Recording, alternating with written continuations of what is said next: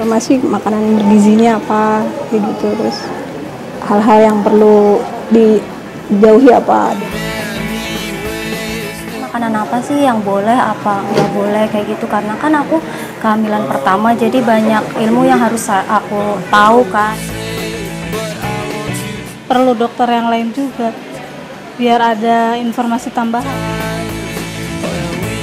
Ya kan gizi, supaya anaknya sehat apa terus bisa lahir secara normalnya seperti apa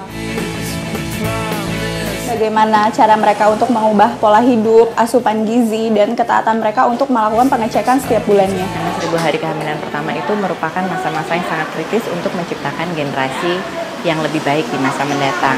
Sehati Kehamilanku adalah aplikasi yang membantu para ibu untuk mendapatkan informasi dan edukasi yang diperlukan.